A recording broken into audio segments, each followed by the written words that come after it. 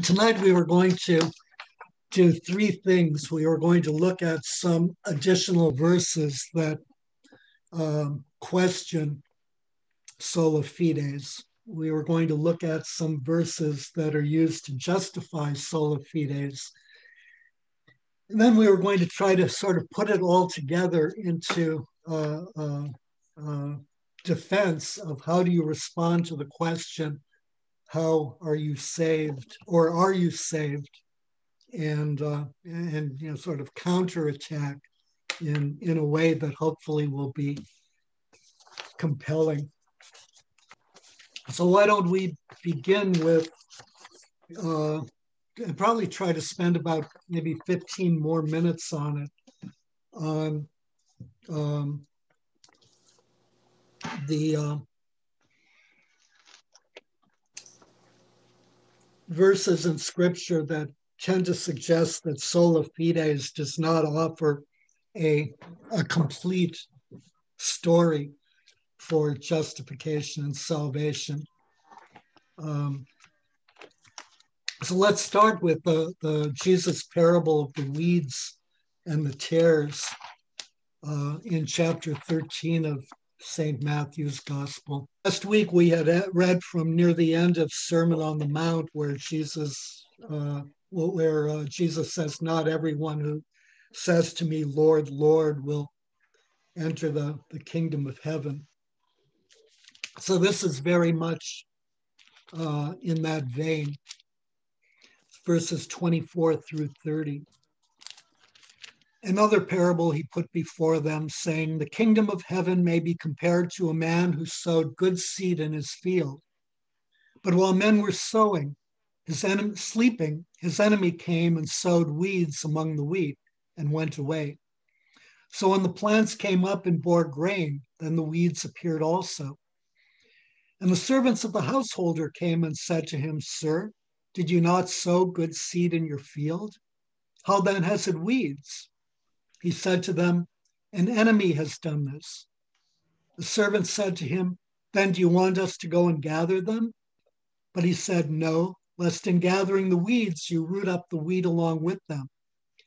Let both grow together until the harvest.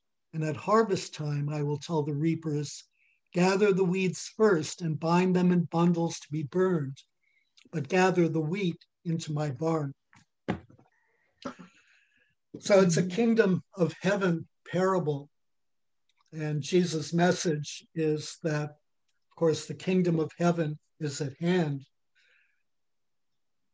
So the parable partly deals with judgment and uh, eternal life, but it also deals with the kingdom of heaven as a present reality, right? And in that kingdom of heaven, there are weeds and there are tares. So, to put it another way, all of these people, both the weeds and the tares, profess to be disciples of Christ. Yet some of them have fallen under the influence of the evil one. Some of them will not be found worthy. Some of them are certainly not justified. So we have a mixture within the kingdom of heaven on earth, which is to say, within the church, of weeds and wheat, of those who will be found justified and of those who won't.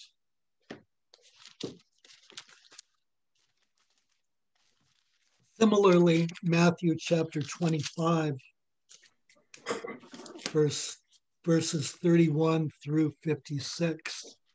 When the Son of Man comes in his glory and all the angels with him, then he will sit on his glorious throne.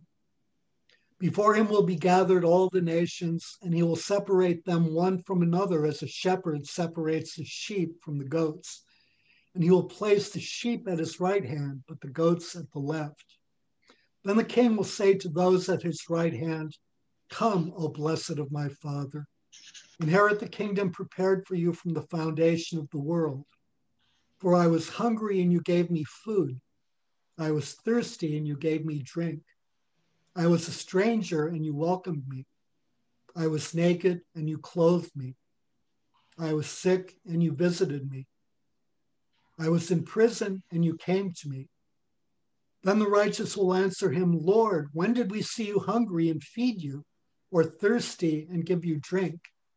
And when did we see you a stranger and welcome you, or naked and clothe you? And when did we see you sick or in prison and visit you? And the king will answer them, Truly I say to you, as you did it to one of the least of these my brethren, you did it to me. Then he will say to those at his left hand, Depart from me, you cursed, into the eternal fire prepared for the devil and his angels. For I was hungry and you gave me no food. I was thirsty and you gave me no drink. I was a stranger and you did not welcome me, naked and you did not clothe me, sick and in prison and you did not visit me.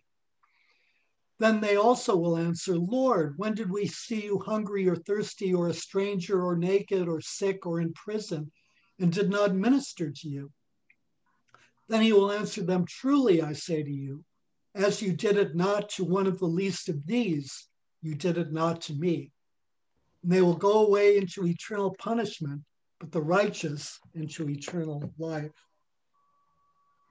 So notice here, this, this isn't necessarily explicitly purely a judgment of the church or of disciples, but it is a judgment based on, and, and faith isn't explicitly mentioned, but it is a judgment based on works. So the, the implication is that faith is reflected in works, that faith and love of God and trust of God is reflected in compassion and love for one's neighbor. And without that, faith is fundamentally meaningless. That's basically uh, the message from from uh, from James. And in fact, why don't we look at James? It's uh, chapter 2, verse 14. Luther profoundly disliked James's letter, um, which he characterized as an epistle of straw. And so, in his German version of the New Testament, he relegated it to the back, sort of questionable works that were uh, included in the corpus of the New Testament uh, without particularly good reason. Sorry, what was that, James? What? Sorry. Chapter 2, verse 14. Okay.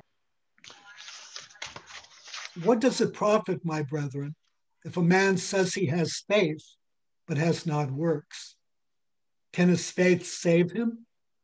If a brother or sister is poorly clothed and in lack of daily food, and one of you says to them, Go in peace, be warmed and filled without giving them the things needed for the body, what does it profit?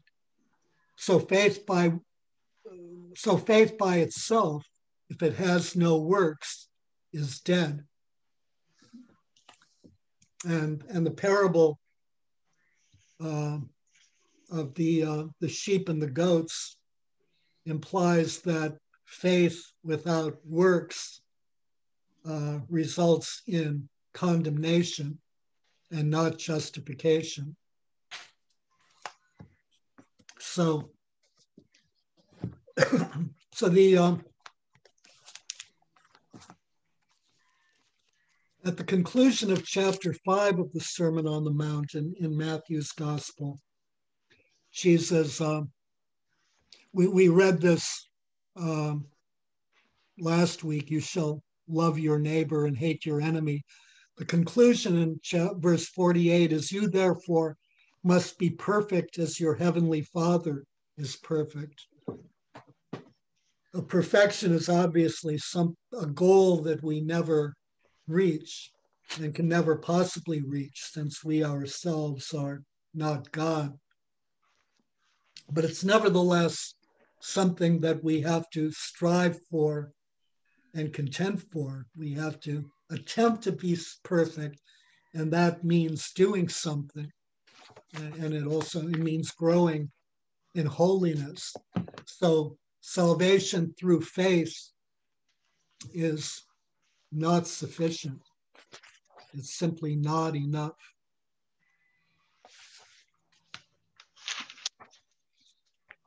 It would seem that people who say that is, it's it's just a falsehood. It's like they aren't being honest. They're they're false.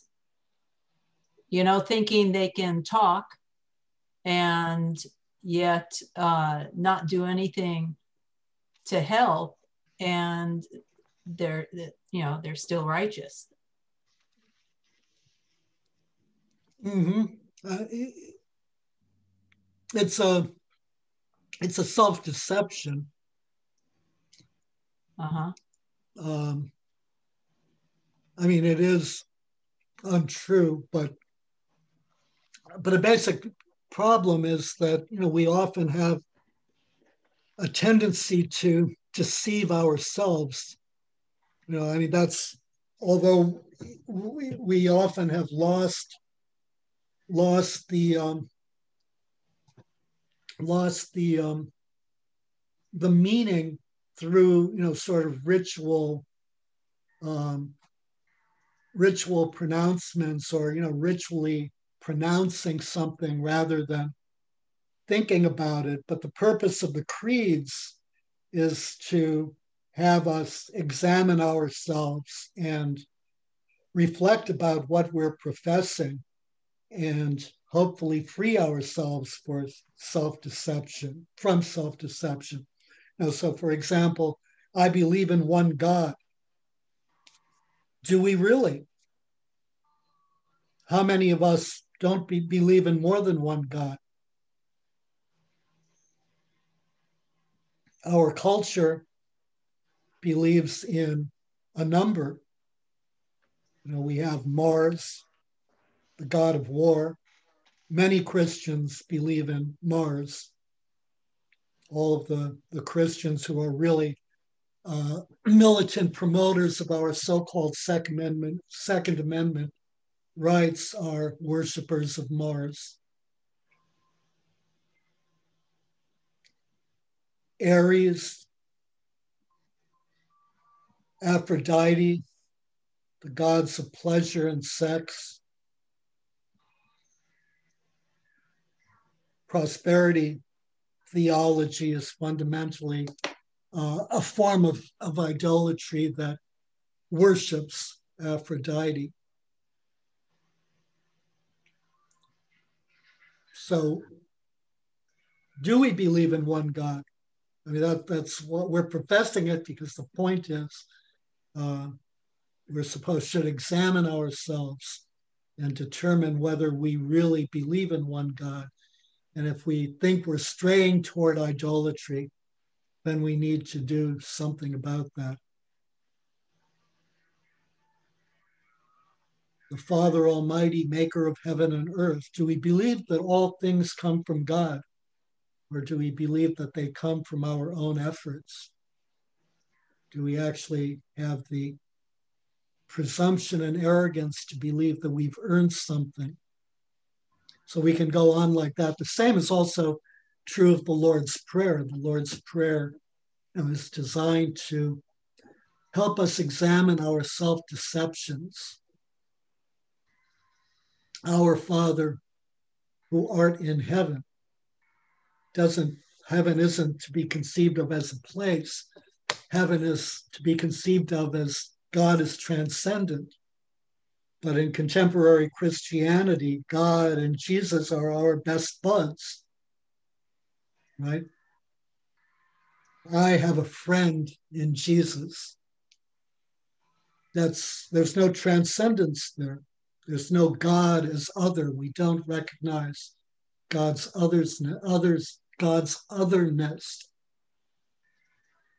And if we don't recognize God's otherness, then we don't know who God is.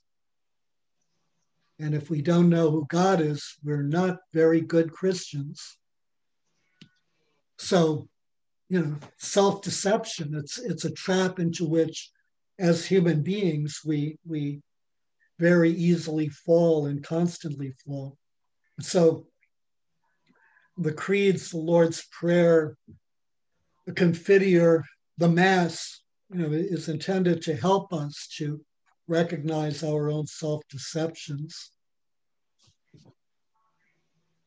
It seems that a fear of the Lord is missing when when people cannot have that respect and and um, believing solely in you know the one god. It seems like you know that's a an indication of lack of well no more fear of the lord lack of mm-hmm. uh, true belief. Yeah that's true. Yeah. Very definitely. There's another side of it that there's only fear of the lord and not a recognition of and we see that you know from uh, you know, the, the sort of Christian groups that are very much living in the Old Testament and you know living seeing an image of God who's a God of vengeance and a God of wrath and a God of anger. You know, they certainly see uh, approach God with reverence, but they also typically don't see God as a loving God or a merciful God. So we have, you know, the two extremes. But the first one is, uh, at this point, in America at least, you know, the, I think the greatest uh, trend. So, other questions or comments about that? So let's look at some of the uh, the uh, so-called proofs of sola scriptura, um, not sola scriptura, sola fides, to see if we can see what's wrong with them. Let's start with Romans chapter 3, verse 28. For we hold that a man is justified by faith apart from works of law. And in his German translation of the New Testament, uh, Luther translated it, added a word. So he had it, for we hold that a man is justified by faith alone, apart from works of law. He added the alone to justify the doctrine of sola uh, fides.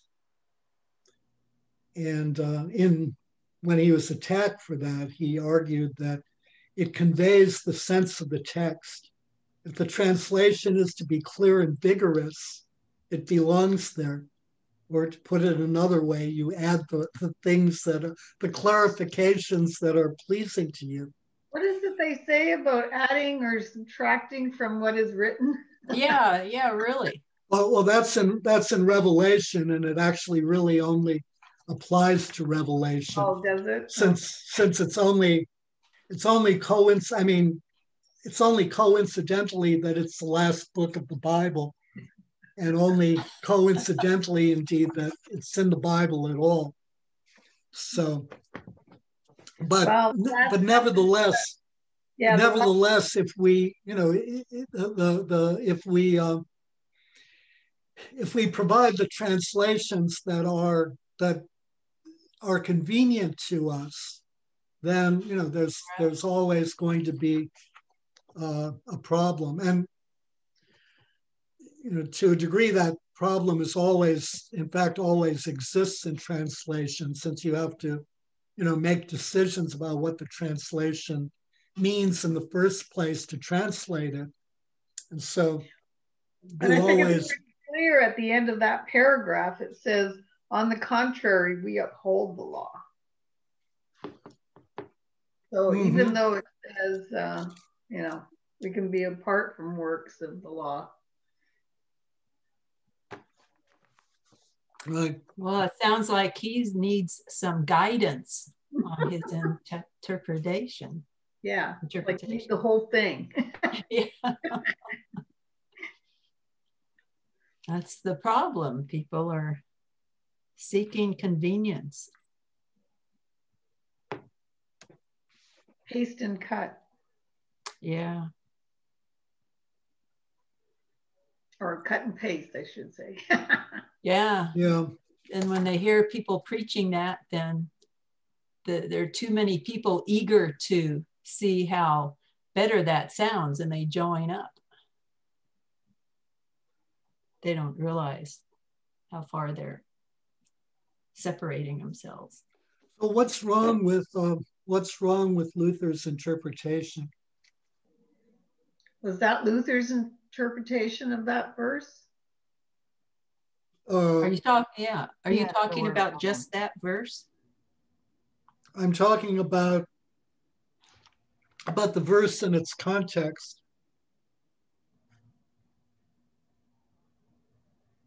Remember that you know we should always that that typically our separated brethren like to proof text, right? So you know, Paul. Well, you says, know. Yeah, I, I'm just thinking just the very act of what he does by inserting a word there to make it better just shows how he's not following the faith by his works at all. He's trying to change it, you know, uh, based on, you know, just saying he believes and this is how you can believe and not worry about you know how you live your life and try to imitate christ. But he, he's not a, he's not actually saying that. That's not well if, if he luther, says justified by faith alone luther luther believes that the fruit of of um, the fruit of faith is works but those works result from the Holy Spirit. They don't result from human effort or from uh, you know, deliberate human action. They result from the Holy Spirit. So the Holy Spirit is solely to be credited with, with works. Um, the modern, uh, more contemporary, you know, evangelicalism has departed from that, but but that was that, that in any case was Luther's view. Well, if the Holy Spirit is is working, but through you, that wouldn't that. But but let's focus on Romans chapter twenty eight. Hmm? What's wrong? What's the issue there? What Romans are the issues? Chapter twenty eight verse, verse chapter oh, three, oh. chapter three, verse twenty-eight. Well, if he is he is he calling the works of the law the the law that the Jews would would follow, and know knowing that you don't have to follow that law anymore, just your faith is which brings together everybody for the Gentiles too, and and they don't have to worry about the the old law. Their their faith alone will be all they need it right, sounds so he, like he's trying to say. He's contrasting faith with the mosaic law. Yeah. By by uh, implication, you know, one can expand from the, the, Mosaic law to general works.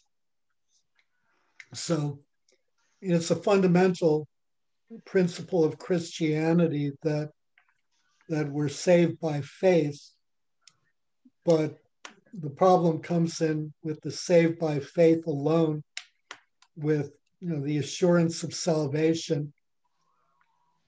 So so one of the the striking things is that Paul begins verse 27 with, then what becomes of our boasting? It is excluded on what principle? On the principle of works? No, but on the principle of faith. For we hold that a man is justified by faith apart from works of law. So you notice no boasting. Why would you boast? In the Mosaic law, you would boast because you've observed the law, right? And therefore you're justified before God. But Paul argues that you can't possibly be justified by before God through the Mosaic law because you can't possibly keep the law in its entirety. So faith has its origin in grace from God and from Christ's redemptive act on the cross, right? So the implication of that is we're saved not by anything we've done, but by what God has done. And so that eliminates boasting because there's nothing to boast about. We haven't right. done anything. Right. In some sense, this has nothing to do with us. At the same time, it has everything to do with us. So both of those statements are true. But now, focus on the boasting part. The boasting is a sense of entitlement, right? So the boasting that Paul is focusing on particularly is that I am, I have observed the law. I observe the law. I observe the Mosaic law I observe God's law. Therefore, I'm justified before God. But if you're boasting in your salvation, which is really what the assurance of salvation is and what I'm saved, are you saved suggests, then you've relocated salvation to rest with you, right?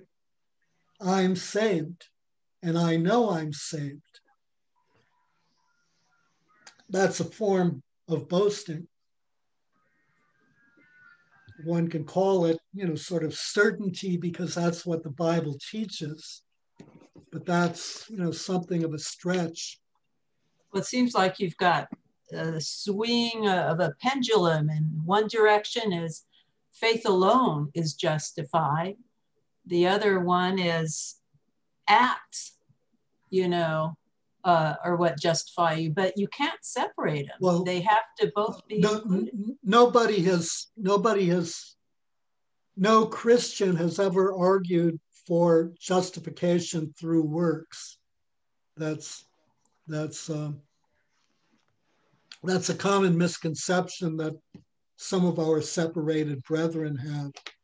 Uh, but you know, even Sproul says that it's incorrect that no one has argued for justification for work, through works. So the so the justification through through works through the works of the law is really about justification through the Mosaic law so it's you know limited to that. It doesn't justification through works doesn't apply right. to to uh, to christian to christianity at all. Right. But either way it's you can't have just one or the other can you? It seems like it has to be a combination of the strong faith and which would naturally um, create this um, passion for working, you know, imitating Christ. Christ, you know, didn't live his life without uh, with anything, with just teaching of the faith. You know, he talked about, you know, helping, you mm-hmm. know, the sick, visiting ones in prison. You know, he, I mean, you've got to, you can't have one without the other, it seems. Right.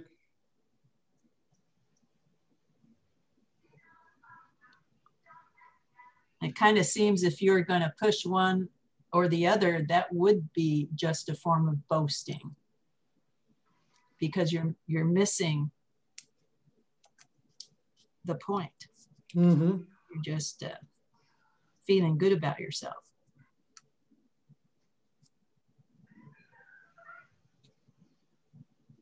So, um,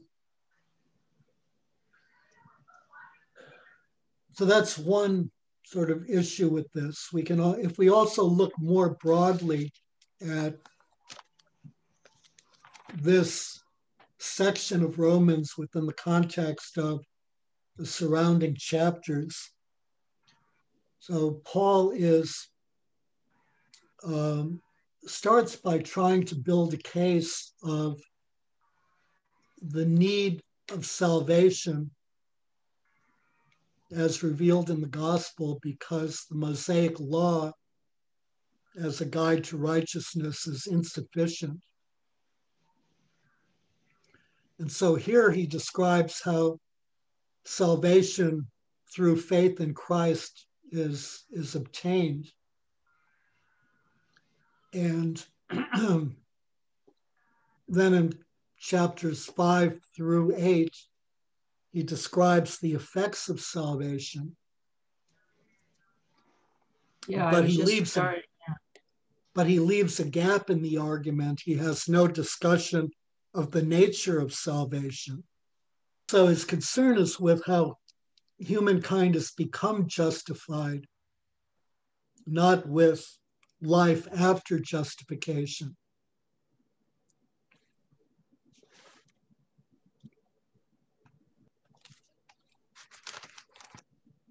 Let's take a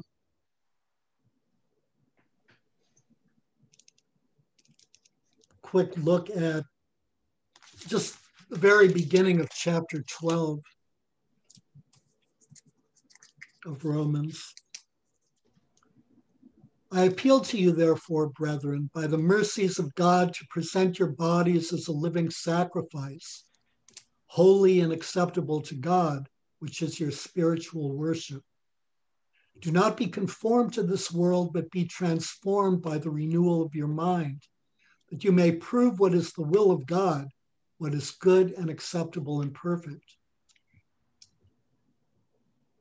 For by the grace given to me, I bid everyone among you not to think of himself more highly than he ought to think, but to think with sober judgment, each according to the measure of faith which God has assigned him. For as in one body we have many members, and all the members do not have the same function, so we, though many, are one body in Christ, and individually members one of another. Having gifts that differ according to the grace given to us, let us use them uh, if prophecy in proportion to our faith, if service in our serving, he who teaches in his teaching, he who exhorts in his exhortation, he who contributes in liberality, he who gives aid with zeal, he who does acts of mercy with cheerfulness.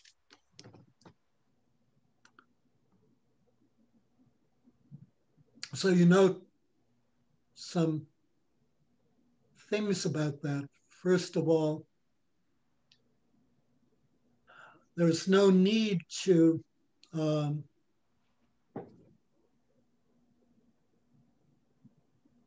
be worried about being conformed to the world if we have an assurance of salvation.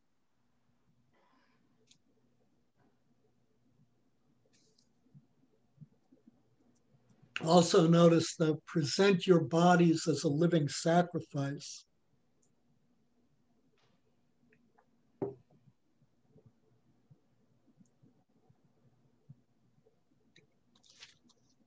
It can be argued that that's a Eucharistic reference. And then also notice that the focus is not on individual salvation. The focus is on the melding of one's gifts or the use of one's gifts within the broader context of the church. so that, you know, in the church, we are all, on the one hand, individuals with unique gifts. Right.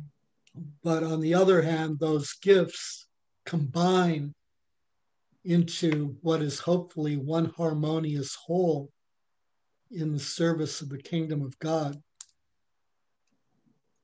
Mm-hmm. So there's there's no need for any of this discussion if one, it's a matter of simple salvation, two, once saved, always saved, if salvation is not a process, and if it were all about us. But it's not. And then quickly looking at First Corinthians chapter 3, verses 7 to 8. Start at verse 5. Mm-hmm. What is what then is Apollos? What is Paul? Servants through whom you believed, as the Lord assigned to each. I planted, Apollos watered, but God gave the growth. So neither he who plants nor he who waters is anything, but only God who gives the growth. He who plants and he who waters are equal, and each shall receive his wages according to his labor. For we are God's fellow workers, you are God's field, God's building. So notice he ascribes the, the uh, activity whether from Paul himself or Apollos to God's grace, the fruit to God's grace. And yet at the same time, there's a reward for him, for Apollos. Why would there be a reward? The reward wouldn't be individual, right? It would be communal. Um, well, no, both individual and communal. I mean, he, he's talking here pre- predominantly, I think, about uh, each will receive wages according to the labor of each. So he's talking about himself. Why does he deserve a reward? Why does he think he deserves a reward? He's a worker. He's chosen from his free will to cooperate with God's grace. Yeah. That's a choice. And for making the choice, he deserves a reward. Is the grace to what, Jerry? God to receive the grace to be with God in, in eternity. I mean, you know, that's basically, you know, what we're doing by being good Christians, you're doing, we're behaving in, in the manner, you know, um, along God's plan for His grace, and every everything we accomplished uh, or accomplish, every gift we have, we attribute it to God, not ourselves. Let's um, move on to Romans chapter 5, verse 1. Therefore, since we are justified by faith, we have peace with God through our Lord Jesus Christ, through whom we have obtained access to this grace in which we stand. And we rejoice in our hope of sharing the glory of God. More than that, we rejoice in our sufferings knowing that suffering produces endurance. And endurance produces character, and character produces hope. And hope does not disappoint us because God's love has been poured into our hearts through the Holy Spirit who has been given to us. Are there any problems there as a defense of sola fides? Does anyone see any problems? Well, I, I, I don't know. It seems like they're talking about they're justified by faith um, and knowing that they you know um, where it says boasting of our afflictions produces in the endurance endurance proven character proven character hope. Um, you know but it's i don't know there's no um, sense of of substance really in those words. How do you get endurance or hope or character without serving you know and just professing faith. Uh, through suffering. Yeah. It just you know it's uh, just kind of empty well i wouldn't say it's empty. I, I would say it doesn't establish sola fides. I, I think oh, it yeah. hard, yeah definitely not empty. So it, it starts with therefore since we are justified by faith so the assumption then is of justification, which is what the previous part, including chapter three and the verse we just read, were about. So, a justification by faith is assumed, and now Paul is going to examine the blessings or the uh, the fruit that comes from just the blessings that come from justification. So then to then use this again as proof of justification is to take it completely out of context since this isn't about justification. This is about the blessings that stem from justification. Then, yeah, another problem is that uh, Paul writes that uh, we rejoice in our hope of sharing the glory of God. Last week we read from uh, Romans chapter 8, verses 24 through 26, that we don't hope for certainties.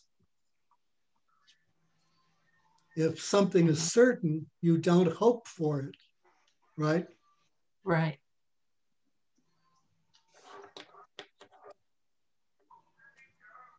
I don't hope I get my paycheck tomorrow unless my employer is on, you know, very shaky ground and might not pay my salary, right? Or you're furloughed. yeah. So there's no there's no hope there. I mean, there's there's you know if, right. if there's a hope, you're not certain. Hope and certainty are diametrically opposed. That's true. So this is completely taken out of context fundamentally and doesn't even prove the thing uh, at the most superficial level, doesn't even prove the thing it's supposed to. Let's move on to verse 15. But the free gift of justification is not like the trespass. For if many died through one man's trespass, much more have the grace of God and the free gift and the grace of that one man, Jesus Christ, abounded for many. The, so the argument then about this, or the interpretation of this from the viewpoint of sola fides, is that Christ's free gift alone makes us righteous. What's wrong with that? Well, it seems like they're going back to just thinking by his death, he saved everyone. So, and that was it. They don't don't have to live a life, you know, as a Christian, you know, trying to imitate him. Um, well, uh, by his death, what did he do? I'm sorry, what? I By, by his death, what did he do?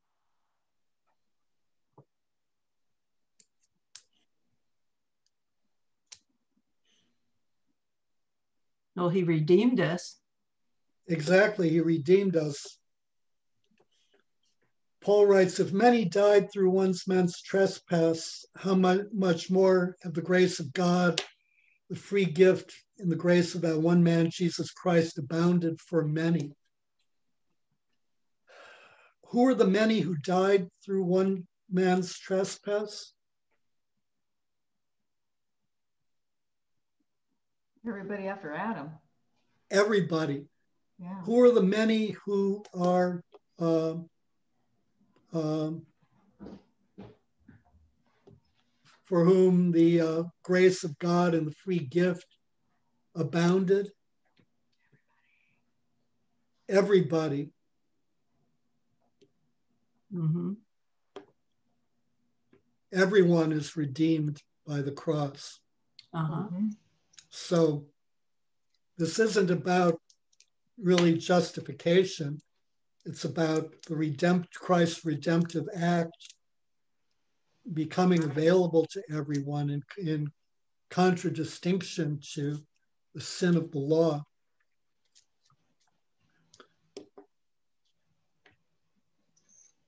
And then immediately after that, in chapter 6, verse 1, he says, What shall we say then? Are we to continue in sin that grace may abound? By no means. How can we who died to sin still live in it?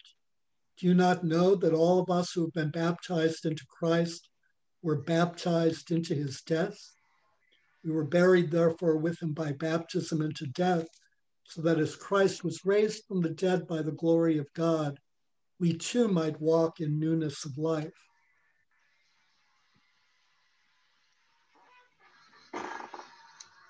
So justification involves transformation.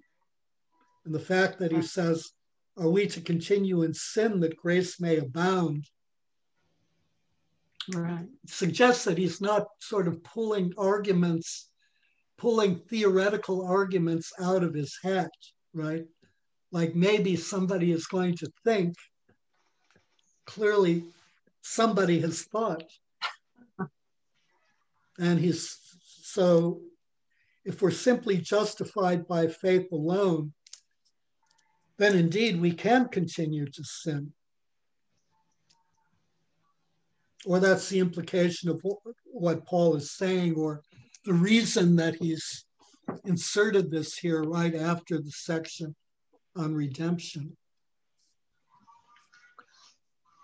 Let's look at Ephesians chapter 2, verses 8 and 9. For by grace you have been saved through faith, and this is not your own doing. It is the gift of God, not because of works, lest any man should boast.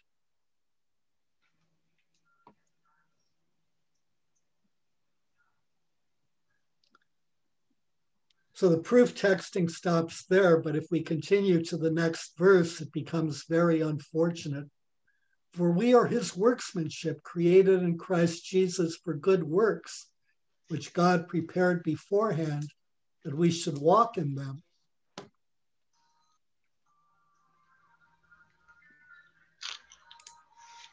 So, ostensibly, our justification should result in good works. Well, it seems like, you know, the redemption, Jesus dying on the cross, that was a gift. It wasn't a justification. Well, but, no, justification is separate from right. Redemption. And but but you know, the we need to live a life of Christ. You know, we need to do that transforming to be right. able to, you know, receive the graces and and to get salvation. We can't just live in sin. Mm-hmm. Let's take a, a look, not a proof text, but a, a final closing uh,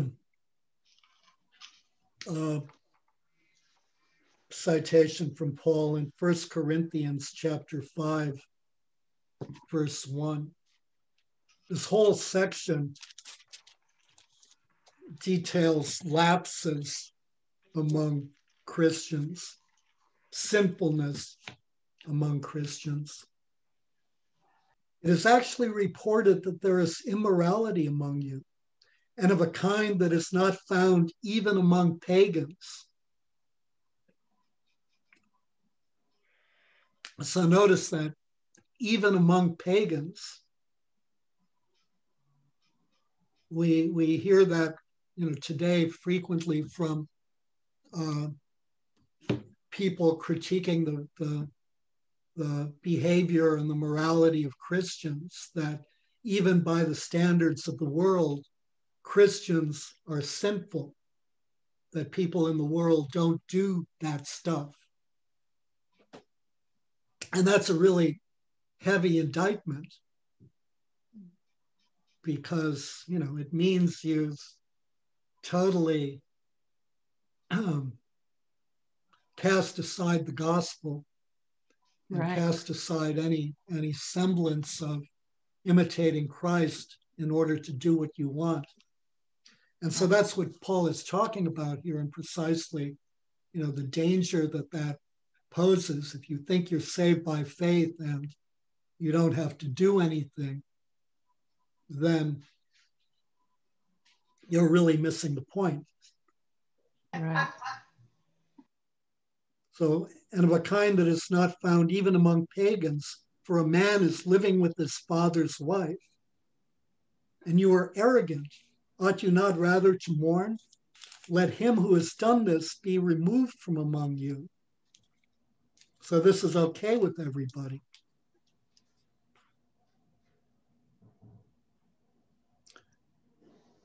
Your boasting is not good. Do you not know that a little leaven leavens all the dough?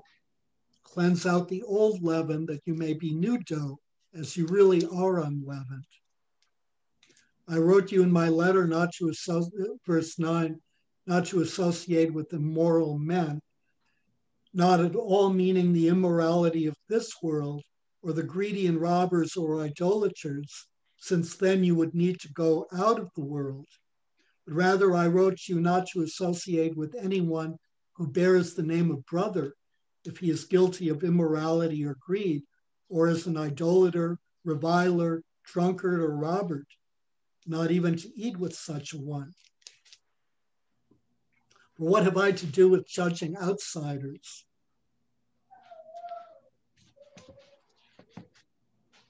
So,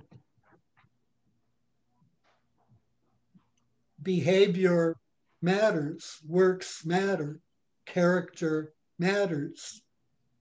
Right. And, you know, in much of Christianity today, behavior does not matter. Character certainly does not matter, and works don't matter. Right. What matters is the assurance of salvation, and that's not Paul's message. So, any final thoughts. We're, we're close to running out of time, and I sort of do want to try to do the last part. Um, are we, do we feel that we're able to defend? Yes, I think you've faith? covered it really well. Really, yeah. I think we're ready to move on because I think this is really clear. So when someone says, Are you saved? How do you respond?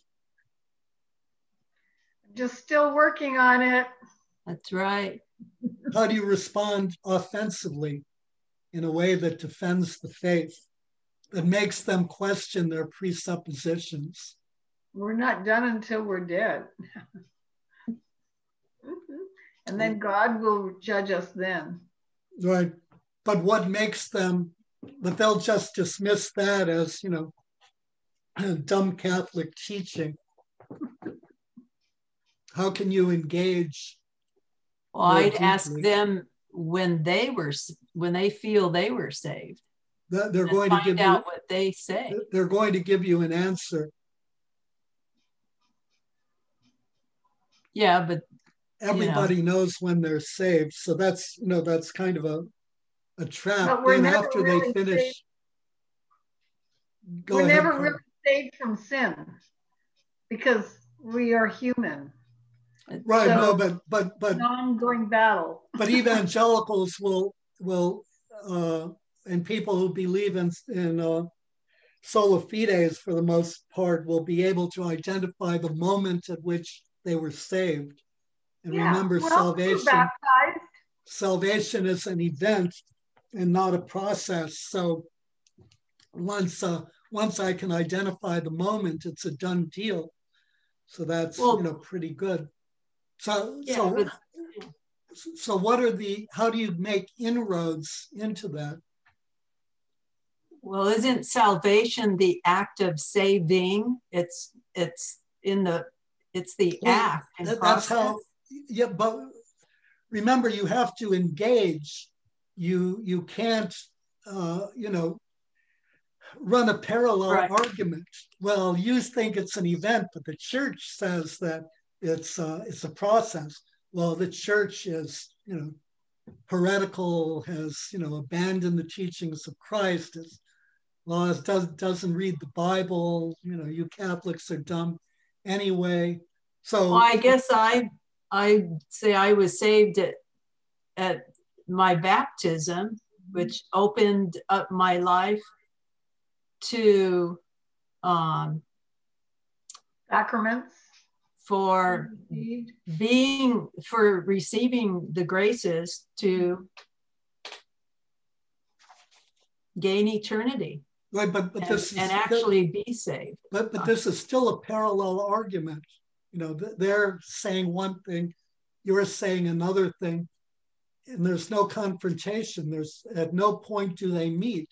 So you know you're going your separate way and and there's no there's no apologetic involved. There's just i have my opinion and you have your opinion. You know the, the important thing is that we try to uh, collide with their opinion in a way that at least you know at some point may force a, re, a, a reevaluation of you know the evidence at hand. So how do you do that? Well, I guess I would I would go back to the idea of having been saved with my at my baptism and reaching living my life for that final judgment yeah, yeah but, I will but, be but, saved. Terry, you're you're rehashing Catholic theology. The, the oh. rehash doesn't accomplish anything. You know, I don't know if I'd even want to bother with someone, you know, who who. Well, that's that, that that's a question, you know. But in in I mean, you know, for me personally, although you know I don't do it typically very nicely or you know, in a spirit of love as one is supposed to. Uh, but, you know, nevertheless, um, you know, this stuff sort of um,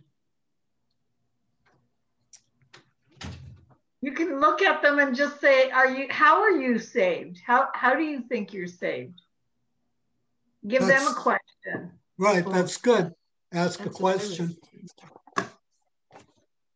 well, or, so you or not so much saying, not so much how, but why.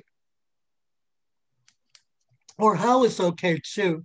And and you need to, you know, we just need to be humble and say we don't know if we're saved, but we're trying, and we ask for forgiveness by going to confession and receiving the sacraments and by by reading scripture to to educate us in in the ways that God wants us to behave. Well, a good thing to do is is to turn to Scripture, right? So, so you know they're saved. Memorize all these different And verses. so, well, a really easy one is Paul says that if you confess, we discussed this last week, if you confess with your, if you believe in your heart and confess with your mouth, uh, you'll be saved.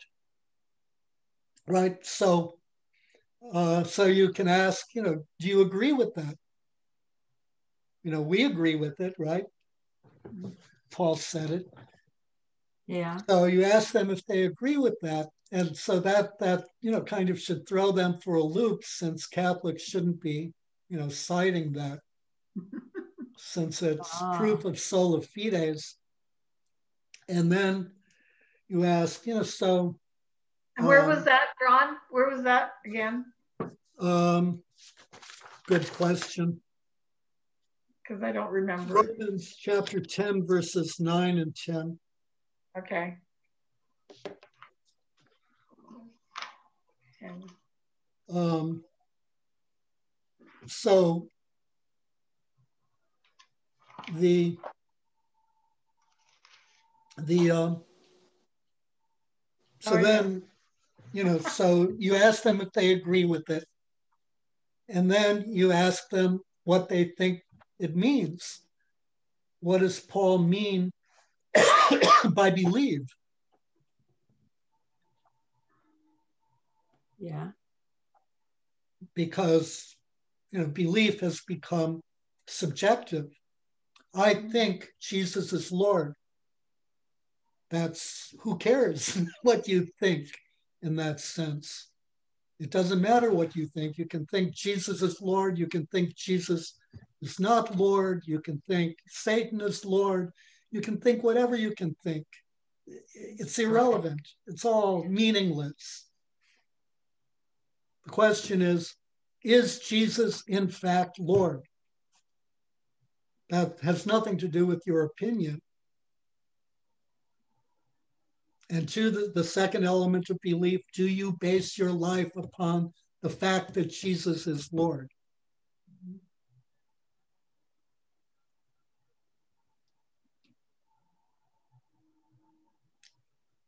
And then you can confess, which has a broader meaning than simply, you know, mutter some words.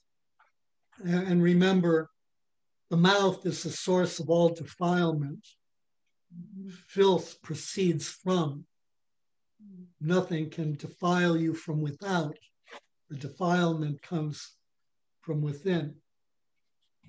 So the mouth lies. So confess has a broader meaning than simply mumble these incomprehensible words.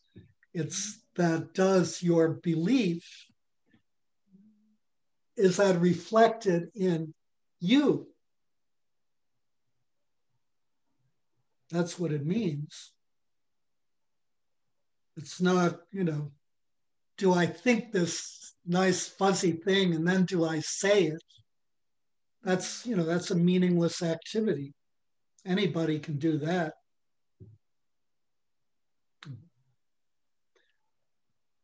So, and then, you know, you can go from there. What makes you think salvation is an event? Why does Paul give such strong warnings about immorality? Why is it that Paul is, is so concerned? Uh, why, why does is Paul so condemning of uh, immorality that's that he considers to be worse than pagan immorality? Why is that?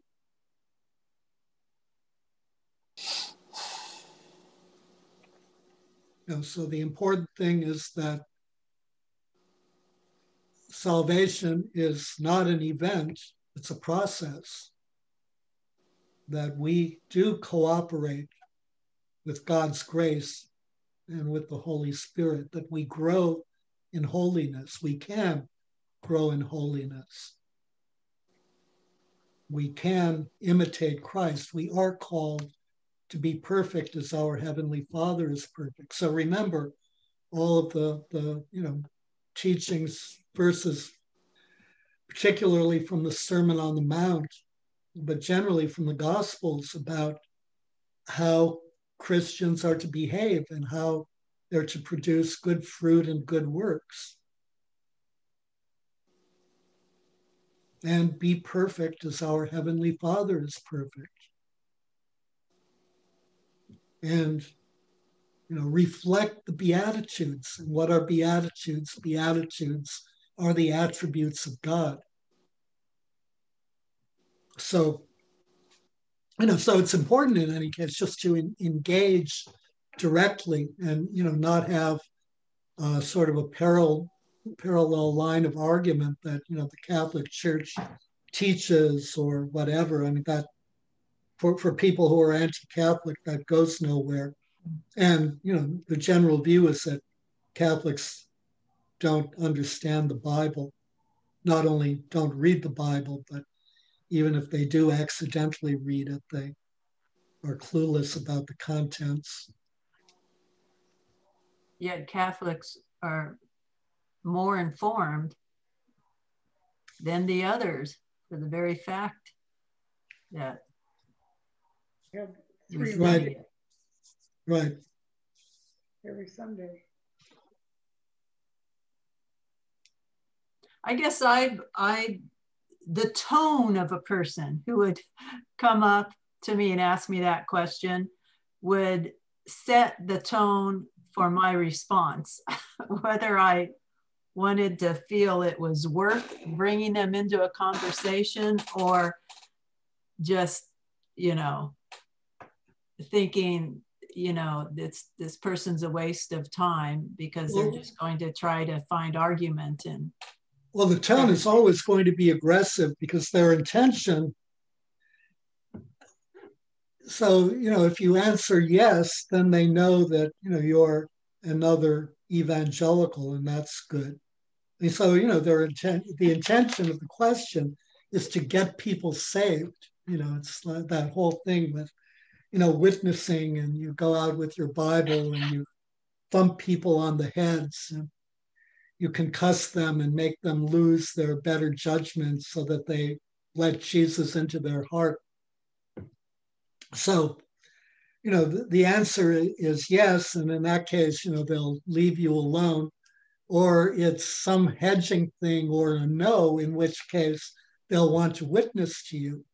And so, you know, since you never want to say yes, uh, it's an opportunity to uh, either walk away or to engage them, depending. I mean, you know, you, you have to make the call on, you know, based on, um,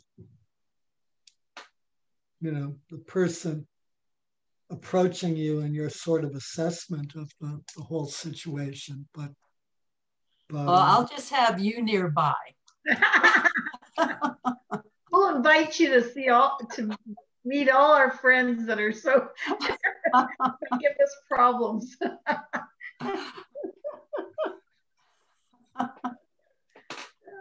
We'll have parties at the church. so where are we going from here now uh, so next week we'll do the Eucharist. Uh, Ah, so yeah. Yeah. so read read um, the Eucharistic verse, uh, the Last Supper, in um, the three Gospels as well as in Paul. It's in First Corinthians. I'll send out the, uh, the precise citations probably tomorrow. Then also read the Bread of Life discourse. Bread of life discourse and then I'll I'll send out one additional article to read. okay And um,